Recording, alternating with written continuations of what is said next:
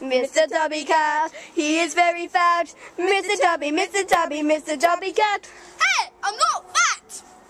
Oh, yes, I am. help! Help! Mr. Tubby, to the rescue! No! No! No, you're fat! You're fat!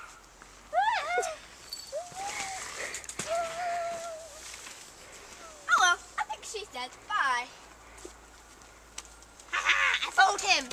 I just wanted to see him run. He's a fat cat. And he's dumb by peace.